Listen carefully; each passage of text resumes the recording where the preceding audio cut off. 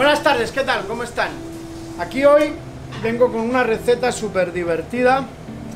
Dos recetas, actually, que hacer con los corazones de alcachofa del corte inglés. Recuerden que los corazones de alcachofa del corte inglés están de venta en Supermercados El Rey, donde encontramos todos los productos.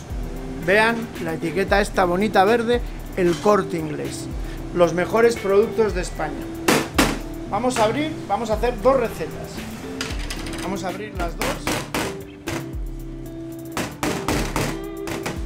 Ya, perfecto. Lo vaciamos.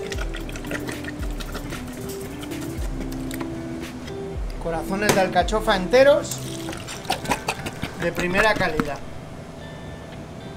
Observen el olor, ligeramente ácido, pero no ácido, y la textura, están suavecitos, así que hay que manejarlos con suavidad. Pues tenemos las alcachofas, vamos a usar cebolla, pimentón rojo, pimentón verde, tomate, aceite de oliva y vinagre de jerez.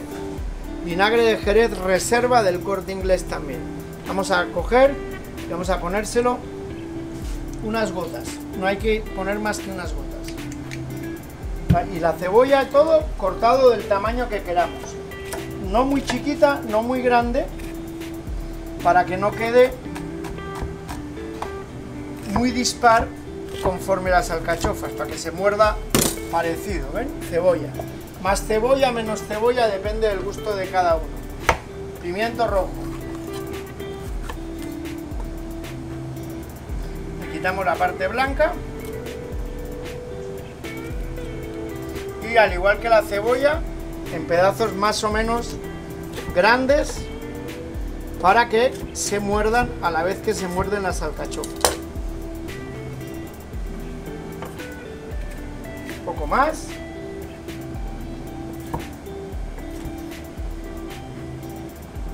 Pimiento verde. Medio pimiento rojo, medio pimiento verde alcanza. Y media cebolla alcanza. Y ahora un tomate.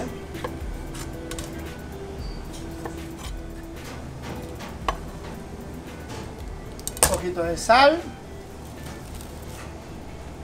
Pimienta fresca.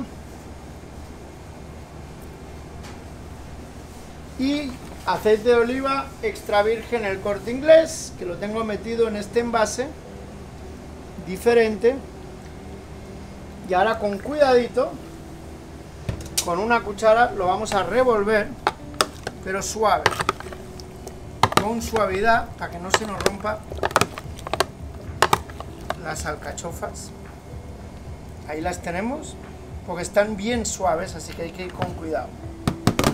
Esto se deja por 10-15 minutos y se sirve para, que coja un poco más de sabor a vinagre y aceite de oliva. Podemos añadirle un poquito más de aceite. Esto sería una entrada rápida con alcachofas. Vamos con la segunda entrada.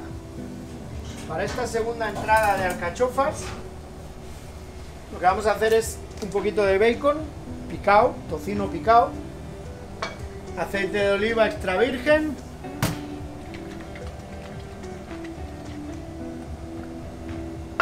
y el bacon, un poquito de bacon o jamón. Pueden usar jamón o pueden usar bacon. A mí me gusta el sabor de ahumado de las alcachofas porque me ayuda mucho ese sabor para eliminar el sabor al ácido de la misma alcachofa. Tenemos aquí unos hongos que los pondremos antes que poner las alcachofas enteros para que tengan el mismo volumen que lo que es la misma alcachofa. 16 alcachofas, 16 hongos. Vamos a agregar los hongos, hongos frescos, pero puede ser hongos en conserva, los mismos del corte inglés pueden ser muy servibles para esto. Hongos, salteaditos con el tocino, vamos a esperar que agarre.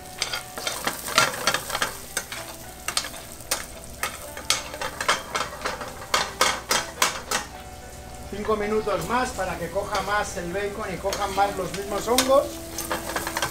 Al usar tocino ahumado o jamón serrano también tienen que ir con cuidado con la sal, porque son productos que ya están salados, entonces lo que hay que hacer es solamente agregar pimienta y luego al final probar si hace falta un poquito más de sal. Recuerden que también la alcachofa per se en la conserva lleva sal, entonces no deben abusar de esa sal. Ahora que el hongo está casi casi vamos a echar, espolvorear un poco de harina, es un poco de trampa, polvoreamos un poco de harina y la cocinamos bien cocinada con este bacon y estos hongos. Ahora le agregamos el líquido de las alcachofas.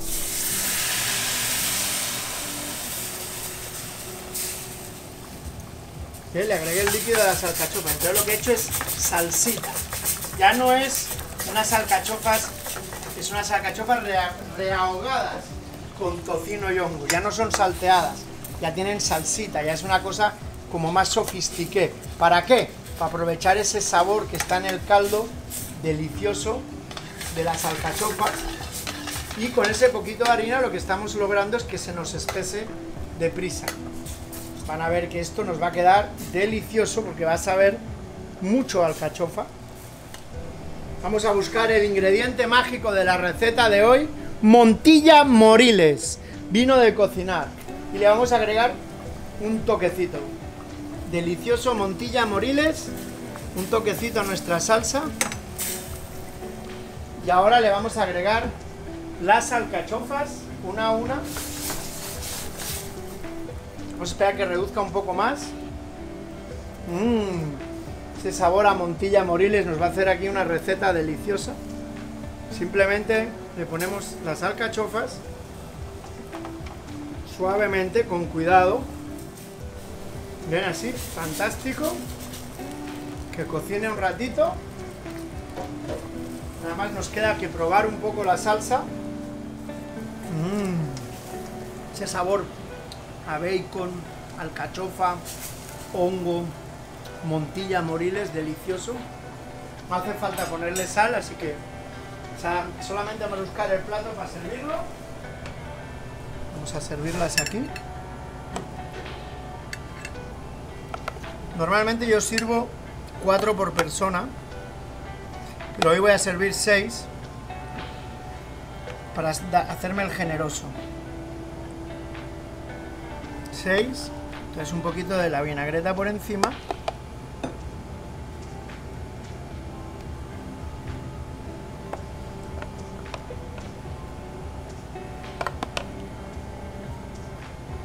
pudieran oler lo que está oliendo aquí el cámara mío, estarían flipando. Alcachofas y entonces yo las remato con un poquito de cebollino fresco que le aporta sabor. Podemos hacerlo con perejil, pero a mí me gusta el crunchy del cebollino en este caso. Ahí lo tienen, unas alcachofas en vinagreta, una buena entrada.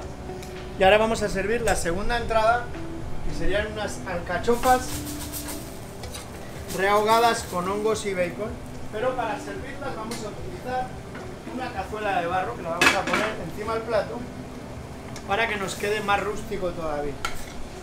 Vamos a poner las alcachofitas, dos alcachofas, dos hongos, una alcachofa, un hongo, una alcachofa, un hongo. Y ahora liquidito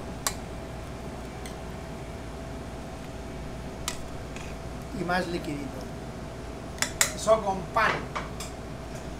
Y ahora sí le voy a poner un poquito de perejil porque ahí lo que quiero es simplemente un poquito de color. Fíjense que es una receta que en 10 minutos hemos terminado dos recetas de dos entradas sabrosas, suculentas y listas para comer de lujo con alcachofas del corte inglés. Buenas tardes y compren productos El Corte Inglés en El Rey. Nos vemos.